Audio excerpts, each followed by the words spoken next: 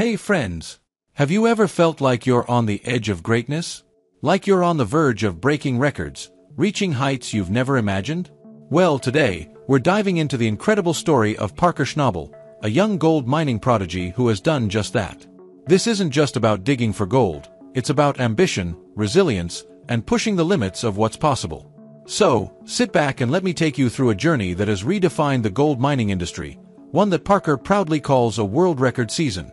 Now, picture this. It's 2018, and Parker Schnabel, the young prodigy of the Yukon, sets off on what would become a groundbreaking chapter in gold mining history.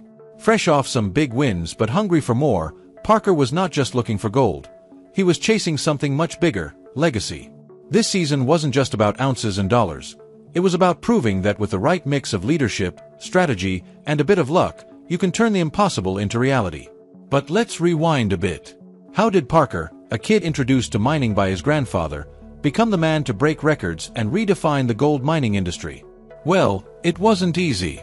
Season 9 started with the odds stacked against him. Equipment breakdowns, brutal weather, and operational setbacks all threatened to derail his dreams. The pressures were immense. Gold mining isn't for the faint of heart. It's dirty, dangerous, and demanding. But where most people might have crumbled under the pressure, Parker stood tall. He took every problem as a lesson, every setback as a stepping stone. And let me tell you, folks, that's where Parker's genius really shines. It's not just his tenacity, though that's a huge part of it. It's his strategy. You see, gold mining isn't just about hard work, it's about working smart. Parker's success is rooted in his ability to think five steps ahead. He makes bold decisions, takes calculated risks, and, more importantly, knows how to lead a team through thick and thin. Now, imagine this. After all those struggles, the tide turns. The crew starts finding gold, real, tangible success. Parker and his team start pulling ounces from the earth like never before. It wasn't long before they smashed through the 7,400 ounce mark, a haul worth $8.5 million. But here's the kicker, it wasn't just a record for the show. It was a record for the industry. Parker Schnabel was officially a legend, and season 9 was just the beginning. But wait, there's more. Each season after, Parker didn't just rest on his laurels. Oh no. He kept pushing, kept innovating, and kept smashing records. From mechanical mishaps to global pandemics, Parker and his team faced obstacle after obstacle. And yet, with every season, they kept raising the bar. Fast forward to season 12, and what do we see? A jaw-dropping 8,397 ounces of gold.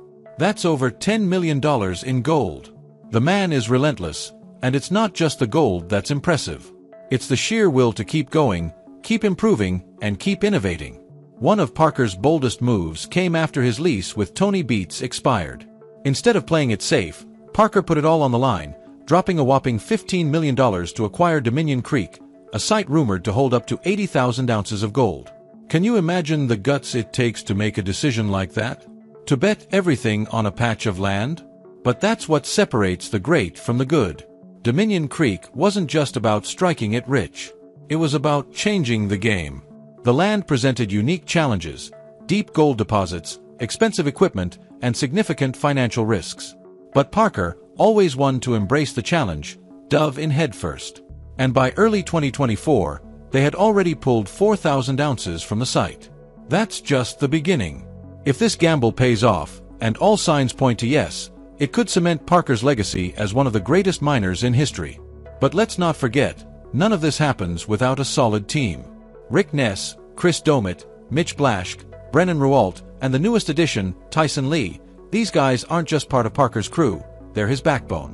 Whether it's fixing machinery, leading operations, or just getting their hands dirty, they're the unsung heroes of every gold rush triumph. So, what can we learn from Parker's journey? It's not just about chasing gold, it's about chasing dreams. It's about understanding that success doesn't come easy, that every ounce of gold is earned through blood, sweat, and sometimes tears. Parker's story isn't just one of financial success, it's about resilience, innovation, and leadership. Whether it's the depth of the mines or the depth of his strategy, Parker digs deeper than anyone else. And what's next for Parker Schnabel?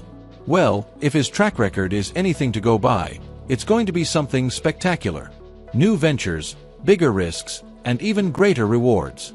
But before you go, let me leave you with this thought. What would you do if you had the courage to bet it all? If you had Parker Schnabel's drive to push beyond your limits, how much could you accomplish? Stay tuned, because this gold rush story is far from over.